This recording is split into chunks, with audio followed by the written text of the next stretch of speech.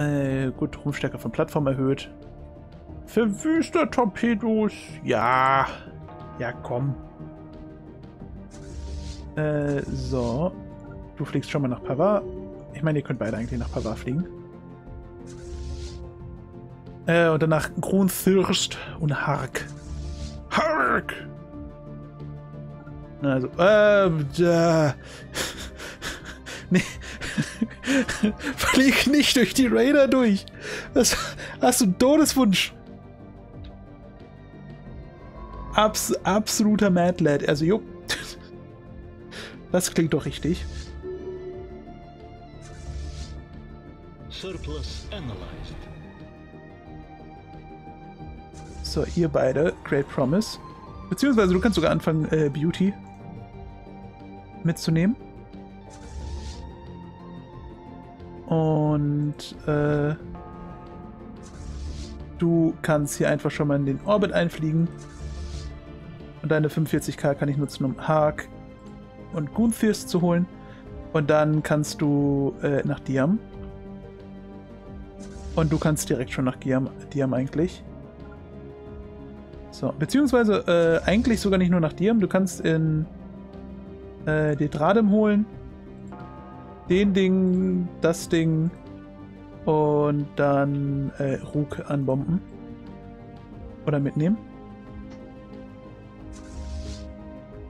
Und du kannst äh, hier Kren die Leute mitnehmen.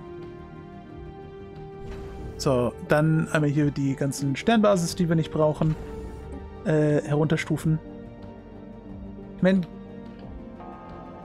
die Frage, die ich mir jetzt gerade stelle, ich meine, ich habe hier oben in Asterion eine äh, Sprungstation.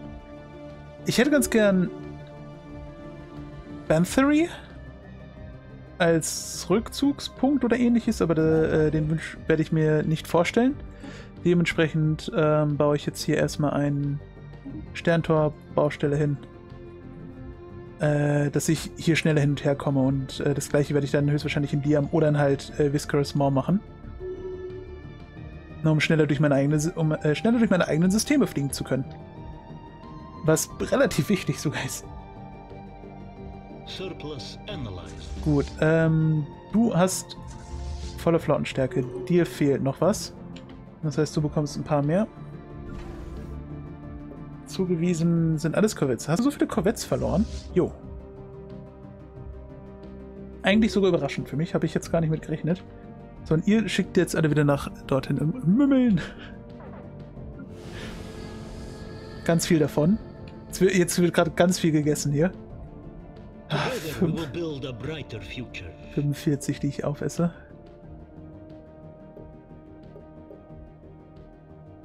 Zweitausendfünfhundert äh, Garnison. Das gefällt mir zu sehen. So, ähm... Ja, irgendwie schickst du keine nach Forschung einzeln. Achso, auch höchstwahrscheinlich, weil der Weltraumsturm Wukam trifft ein. Nein!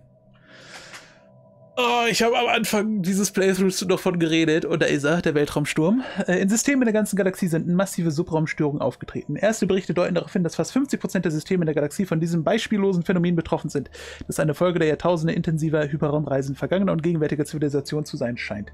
Unsere Wissenschaftler sind zuversichtlich, dass sich dieser galaktische Weltraumsturm innerhalb von 5 bis 10 Jahren von selbst auflösen wird. Bis dahin wird sich der Sturm auf unsere Antriebe, Schildgeneratoren und Sensorsysteme in den von ihm betroffenen Sternsystemen auswirken und Chaos verursachen. Die galaktische Gemeinschaft hat diesem Sturm offiziell den Namen Wukwam gegeben und eine allgemeine Reisewarnung ausgesprochen. Was bedeutet, ich weiß jetzt natürlich nicht, in welchem System Wukwam alles äh, wütet. Kann man das irgendwie auf der Karte sehen? Wo Wukwam gerade wütet? Ich erkenne es zumindest nicht. Ähm, aber ja, Wukwam ist ein Problem. Äh, Systemen, die von Wukan betroffen sind, habe ich nämlich keine Schilde mehr. Wenn ich das richtig verstanden habe. Ich meine, ich kann natürlich jetzt mal äh, Situation Log gucken, sehe aber hier keinen äh, keinen Grund. Gut. Oder nichts, was äh, mir große Sorgen bereiten sollte. Ach, guck mal, hier, hier haben wir zum Beispiel Sturm, äh, einen Sturm. Gerade. Guck mal, äh, das ist quasi Wukwam. Ähm, Überlichtgeschwindigkeit 50%. äh, reduziert und Schilde 100%. Also wir haben keine Schilde in diesem System hier. Was jetzt nicht so viel oder nicht so schlimm ist, ähm, bedenkend, wo ich mich befinde, ne, quasi in einem komplett geklärten Gegnergebiet, aber trotzdem nervig. Kein, kein keine Frage. So, 8200. Achso, du kriegst zwei Korvetts. Ähm. Und dir gebe ich mal die 8000 mit.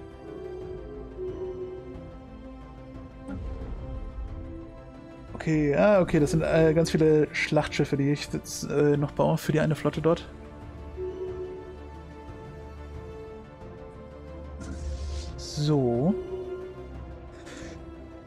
Ich meine, ich könnte nach Meropen Befreiung, Befreiungsschlag in Anführungszeichen setzen. Nicht, dass ich jetzt wirklich das bräuchte oder groß Sorgen haben müsste. Ach, stimmt, ich habe Ambitionen. Ähm. Einem Territorium Feuergeschwindigkeit, Baugeschwindigkeit, Plattform hoch. Baulimit Megastruktur plus 1, dann könnte ich quasi 3 bauen. Äh, monatliche Mineralien hoch, große Flotte ist Unterhalt von Schiffen. Ich meine, der Unterhalt von Schiffen runter klingt nicht schlecht. Machen wir mal. Unterhalt Schiffe bedeutet mehr Energiecredits und mehr Energieraum. So, ähm, wie schaut ihr aus? Erbärmlich. Ich meine, forschungs- und äh, technologisch sind sie mir beide ebenbürtig. Ihr kämpft auch Federal Independent Systems Galactic Information Alliance War. Achso, ihr spielt, äh, ihr kämpft gegen da. Kämpft ihr mit gegen da? Ja. Also ist momentan die ganze Galaxis gegen Fino und da am Kämpfen. Got it. Das heißt vermutlich, äh, dort ist auch deren Flotte dann, ne? Würde ich einfach mal spontan behaupten wollen. So, das sind noch zehn Leute, die dort sind. Äh, ich verstärke ich auch einmal. Bei dir sind es auch nur noch Kreuzer und Schlachtschiffe, die fehlen ja.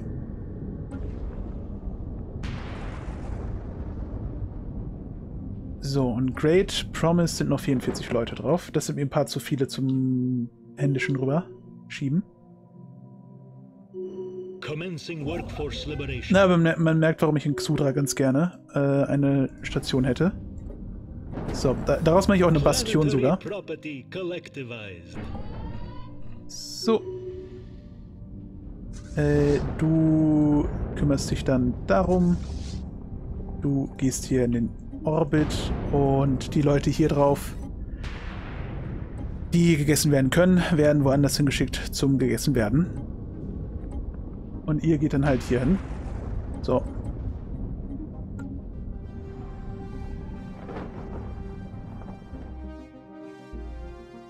Gut, Hishmal kann ich herabstufen, das brauche ich nicht. Japres kann ich herabstufen, das brauche ich nicht. Ich meine, es würde mich auch nicht stören, bis Xudra quasi das Gebiet wieder abzutreten. Ähm, weil Xudra so ziemlich das Einzige ist, was da Probleme machen könnte. Feudora kann ich höchstwahrscheinlich auch herabstufen, dann. Erstmal. Äh, ja, das brauche ich auch nicht als Bastion.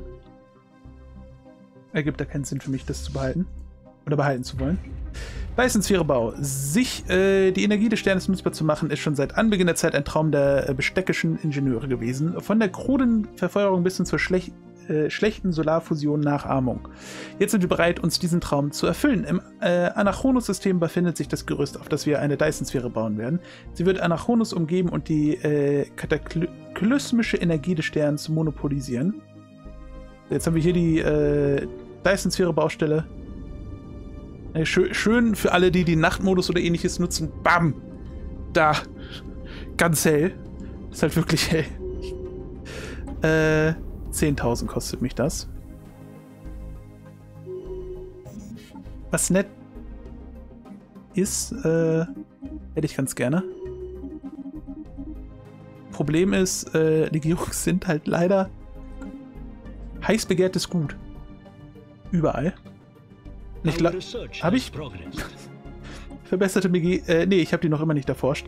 Das sollte ich jetzt mal langsam machen, dass ich nochmal die besseren Mega, äh, die Nano-Legierungsgießereien mache. ich habe jetzt lang genug das vor mir hergedrückt. So, eine Materie-Dekompressor, den werden wir auch bauen. Das ist quasi eine Dyson-Sphäre nur für Mineralien, was auch super ist. Also ab, absolut äh, stark, sowas haben zu können. Ich werde mal ganz kurz jetzt in unsere ähm, Floor Manager gehen. Und wir haben, ne, wie man sieht, wir haben eine äh, Max-Stärke von.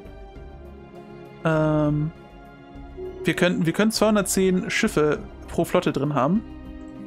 Sodass ich überall noch mehr Schlachtschiffe reinsetzen werde.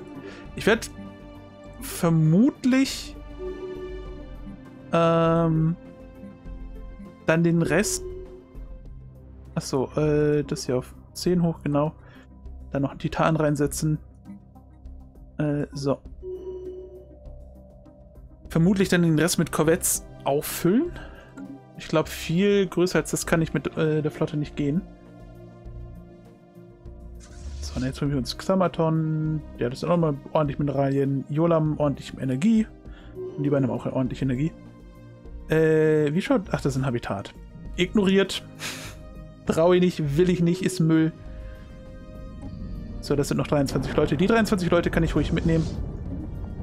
Sprich, wir landen jetzt hier in Great Promise und schieben die dann einmal nach irgendwo hin, wo sie mich nicht stören mehr. So, äh, genau. Die Sternnation, die früher als United äh, Lotzavata Colonies bekannt war, wurde von seinen Feinden zerstört. Das Schmied. Ähm, und die würde ich jetzt nach Forschung 2 einfach rüberschicken wollen. Die zu säubernden. So, zustimmen. Zustimmen. So. Äh, und auch ruhig meine Leute. Gut, ihr beide ähm, könnt dann bitte nach Parsax erstmal fliegen. Und das kann ich herabstufen. Und genau, Xuda wird ja jetzt gerade verbessert. Äh, hast du in Parsax? Eine hast du, ja. Da kommt noch ein Ressourcensilo ran. Riegel könnte ich eigentlich auch in den Ankerplatz umfunktionieren. Mache ich, glaube ich, auch jetzt schon. Äh, das heißt, ich demontiere mal ganz kurz den Zielcomputer und die, äh, das Kommandozentrum. Ne, dass mir dann angezeigt wird, ey, Freund, du kannst da noch äh, Gadgets reinsetzen. So. Wo ist das andere? Du bist gerade das andere, ne? Ja. So. Das heißt, hier kann ich dann auch die Besatzungskammern äh, reinsetzen. Das schon mal verstärken und dann Geschützbatterien dran. Das werde ich höchstwahrscheinlich sogar Richtung Zitadelle verbessern. Ähm, kann ich eigentlich die Konsumgüter verkaufen? Nein. Ich bin treibende Flotte. Äh, Schiffe nehmen wir auseinander, brauche ich nicht. Das sind die Nanolegierungsgießereien, die sind hervorragend für uns. Die äh, Flakartillerie nehme ich mit. Äh, bedeutet nämlich für mich, dass ich hier auf, nicht auf dieser Welt, da auf Legierung 1, ähm, kann ich noch einen ganzen Batzen an äh, weiteren Gießereidrohnen haben. Insbesondere, ich meine, der, der Hauptteil schießt sich gerade in Wartungsdrohnen hinein, was nicht wirklich von Interesse ist. Ähm so. Ja, das ist vermutlich die letzte Art von Verteidigung, die sich, sich jetzt gerade aufbauen. Und in Xudra brauche ich definitiv die, äh, Achso, ich habe jetzt hier gerade auch einen Sturm, ne? Ja, wie schaut das in Diam aus? Diam ist momentan noch sturmbefreit. Was ganz nett ist, weil wenn die, ich meine, wenn die während des Sturms in uns reinspringen, könnte es böse enden. Hm, du magst Apfelsaft. Apfelsaft ist gut. Persönlich bin ich zwar eher ein Apfelschorle-Fan, aber Apfelsaft ist auch nicht schlecht. So, ähm, hier kann ich einmal ganz kurz auch die ganzen Legierungsgießereien aufbessern. Das wird mein äh, Energiekredit und mein flüchtige Teilchen.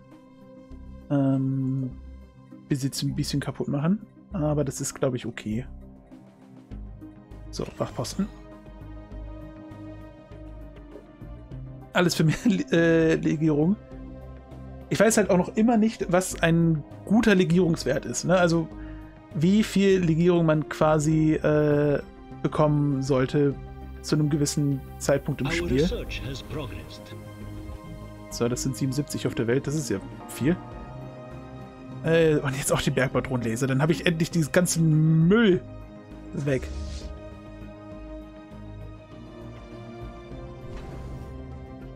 Endlich all diesen ganzen Schrott loswerden.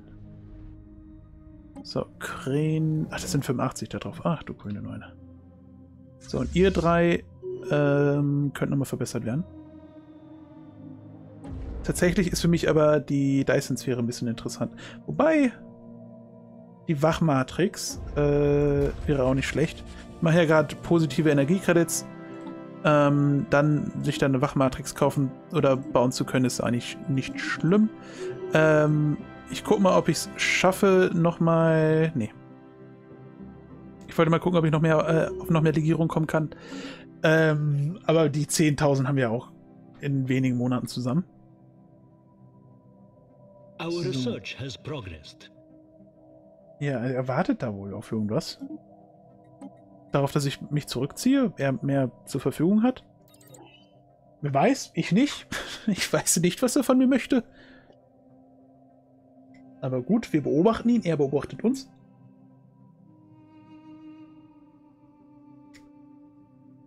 Und einer wird am Ende des Tages unglücklich sein.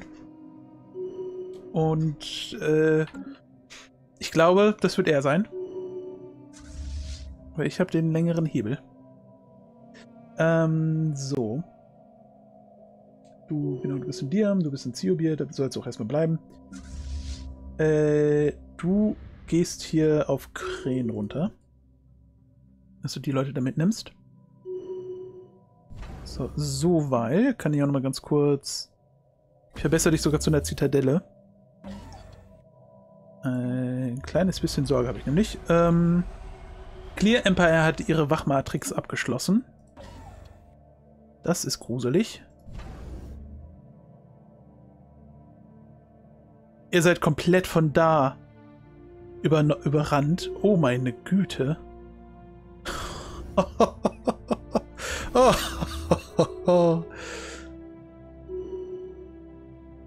Es tut mir ein bisschen leid für euch. Okay, das Rakra Collective. Ich, Rakra Collective, ihr seid nicht zwingend in einer Lage, mich beleidigen zu können.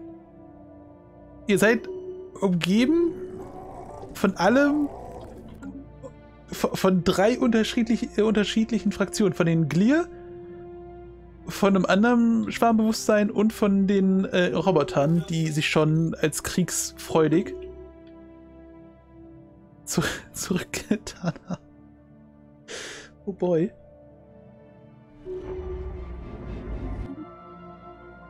Naja. Mach, mach, tun sie halt, was sie wollen, nicht? Sind hier noch Kinders?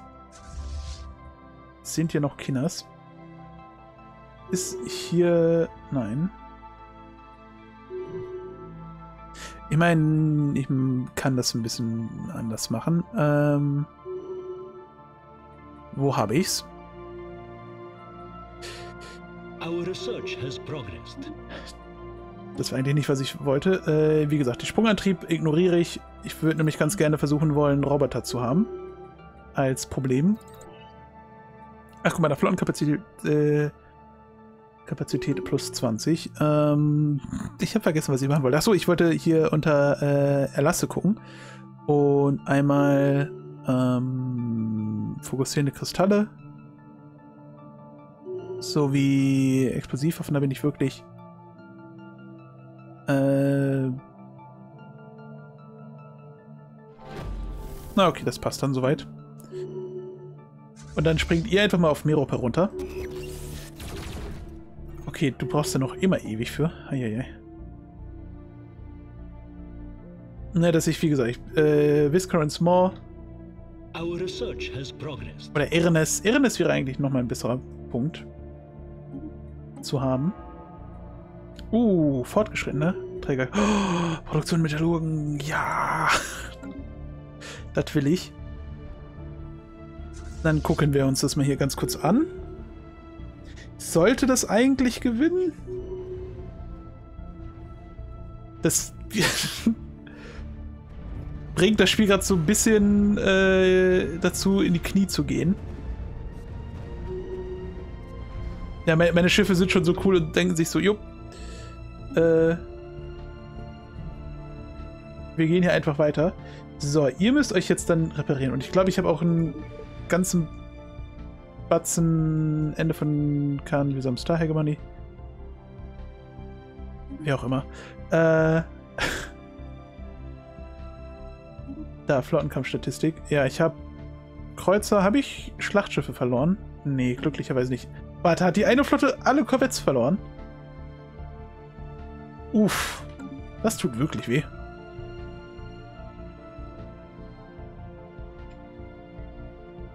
Ja, irgendwas da oben ist gestorben.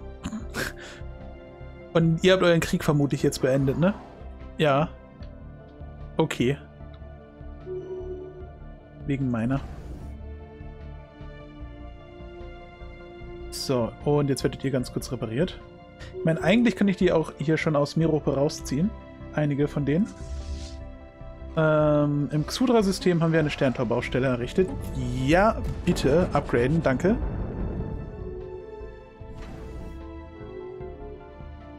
Äh,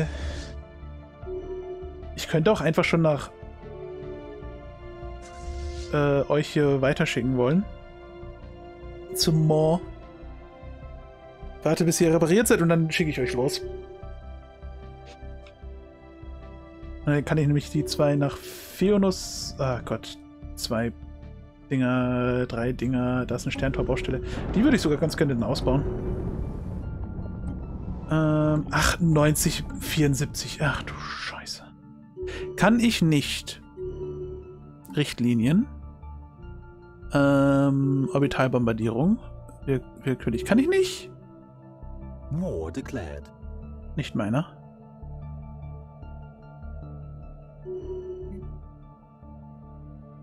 Äh, Rakrak hat Lachaks Consciousness, okay.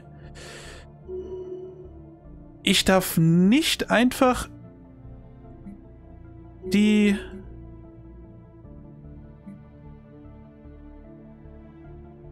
die die Armageddon-Bombardierung benutzen? Verzeih mir? Das ist doof. Ich will Armageddon machen. Noch Mano. Spiel ist fies zu mir. Hätte ich jetzt übrigens auch nicht erwartet. Ich ging jetzt stark davon aus, dass ich einfach Armageddon machen kann.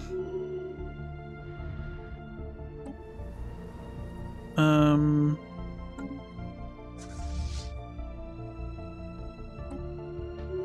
Selektiv, willkürlich, Überfall.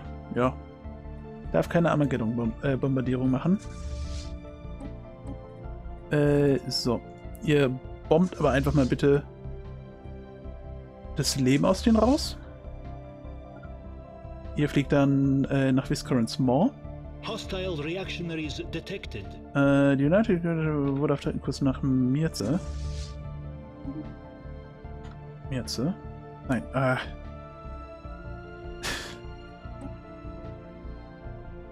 Ich wusste es. Habe ich hier oben eine Flotte? Ja.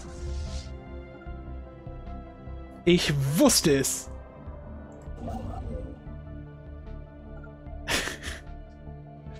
Ah. Es war mir so klar, dass das passieren wird.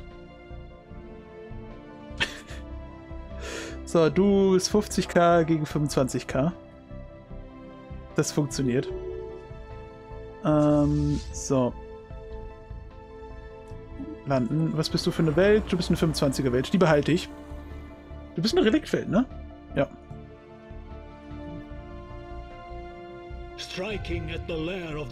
Äh, was habe ich hier für eine Welt? Das ist eine 14er. Die machen wir. Die ignorieren wir. So. Ähm, wie gesagt, die möchte ich behalten. Äh, so.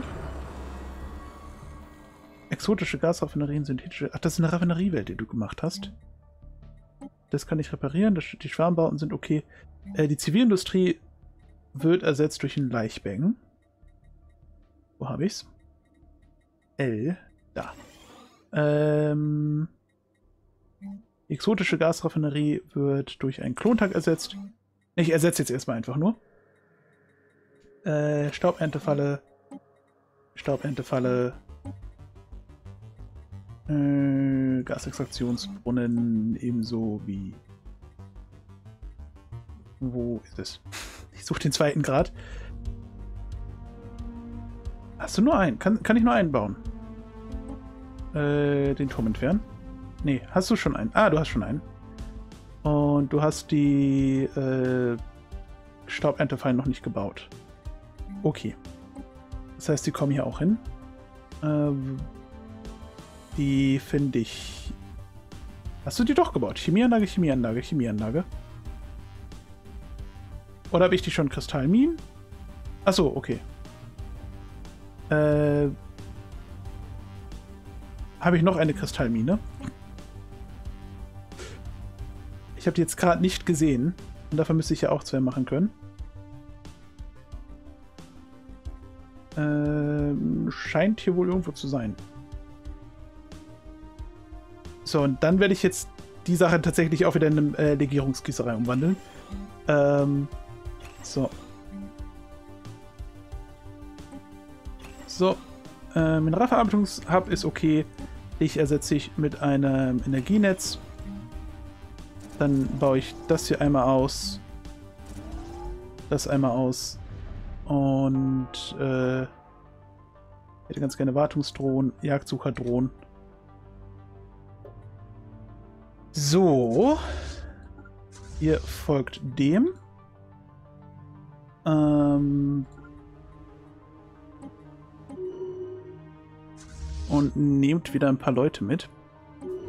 Das ist halt jetzt äh, hauptsächlich problematisch, weil da so eine hohe Verwüstung ist. Äh, ich setze noch ein paar von meinen von meiner Hauptwelt drüber und dann sollte das gleich nach und nach besser werden. Hoffentlich. Theoretisch. Pra praktisch werden wir sehen. Äh, lasst diesen dummen Handwerksjob los. Soll nicht euer Beruf sein. Äh, und einen Wachposten kann ich definitiv noch gebrauchen. Den mache ich aber... Den mache ich sogar zuerst. So. Gut, wir machen jetzt zumindest gleich... Ja, genau. Wir haben 98 Verwüstung. Das wird alles besser werden. Mit, mit Zeit äh, wird alles besser. Construction finalized. Gut, ähm, so, dich kann ich erstmal irgendwo dahin schicken, wenn du magst. Äh, ihr solltet bitte nach Moor runter. Habe ich wohl nicht gut genug ausgedrückt. Äh, so, das ist zwar eine Sternfestung ausbessern. Du verbesserst das. So, und jetzt hast du gesagt, hier in Mürze. Okay, in wahrscheinlich hatte sich gedacht, ups, dann doch nicht. Und ihr habt vermutlich gar keine Flotte. Äh, ich werde die da oben auch nicht angreifen oder so. Die können da tun und lassen, was sie wollen. Äh, gut, ich habe jetzt genug für das Gerüst der Dyson-Sphäre. Was wir dann auch einmal direkt hinterher bauen. Ähm, hier verbessern wir das zu einem Sternhafen hoch. Wir haben da was erforscht. Äh, so, Lebensdauer von den Anführern hoch.